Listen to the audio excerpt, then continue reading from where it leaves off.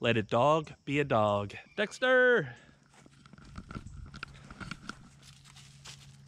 Sometimes you just have to let your big guy walk around, sniff, and explore. Let him look around. Let him step in that mud puddle. Let him smell a flower, and then pee on it if he wants.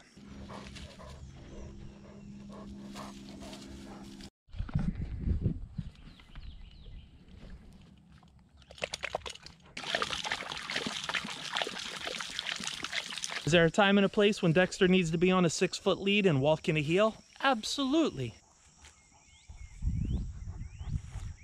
But this obviously isn't one of those places today.